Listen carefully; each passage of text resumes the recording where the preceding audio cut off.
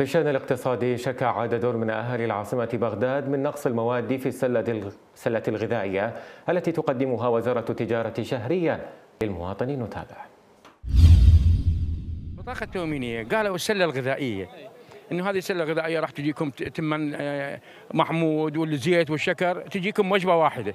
الوكيل زي يوزعها وحدة وحدة وذاك استلمنا هاي المرة التمن يعني مو مو مو شو اسمه اللي قالوا عليه محمود شو اسمه؟ يعني لا هي سله غذائيه صحيحه ها؟ ويعطوك اياها مثل ناقوط الحب.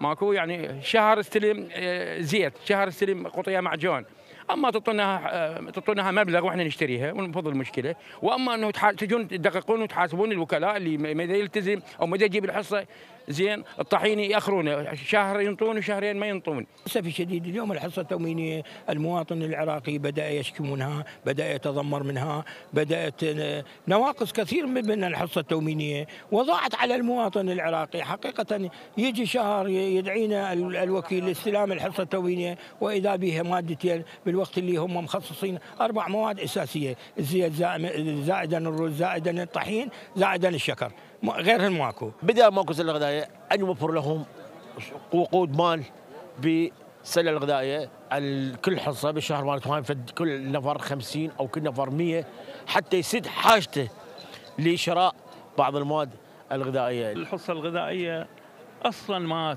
ولا تكفي أي عائلة صغيرة أو كبيرة. لأن المصيبة قرضوها تقرض.